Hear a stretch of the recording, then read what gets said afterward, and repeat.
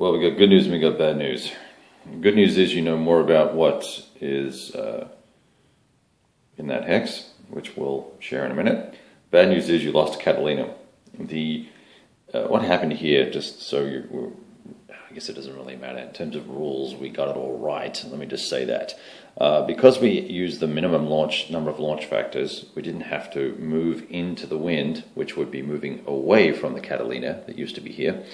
So we could launch one zero, and uh, it's just unfortunate based on timing that this zero was actually rotating back into cap uh, after refueling and rearming uh, from entering the map at 0500 or 0400 or whatever it was it came on.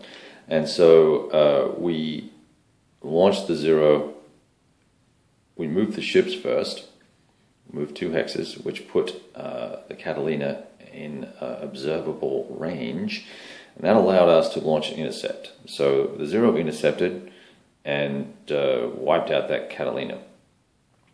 Now, what this means is next turn, what I'm going to do is, uh, in fact, i am going to pause the game here and post a poll and ask if you, as players, wish to continue with your search pattern in this area, right? Uh, there's, you know, there's a there's a bunch of um, got a bunch of Catalinas down here. The two on the left need to return to base uh, pretty much immediately, and they've covered most of this area, but not all of it. And as I said, there's this gap here in the H area, uh, and there's also this area around the uh, task force that has not been searched.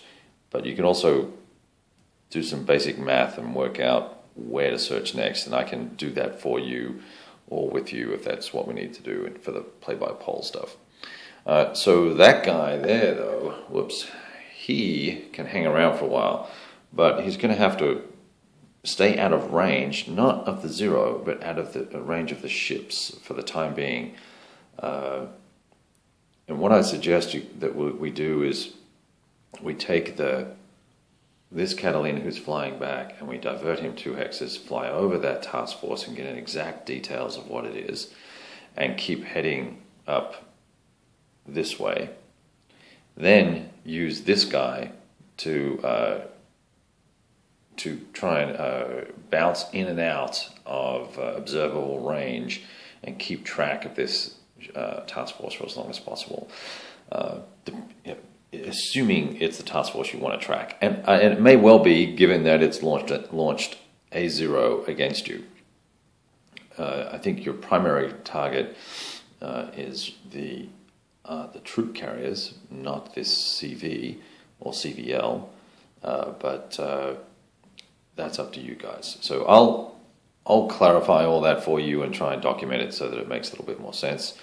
I know that's kind of a garbled a garbled video, but it's eight o'clock in the morning and I'm only on my second cup of coffee. So that's kind of the status of uh, uh, our first combat in the CV play by poll.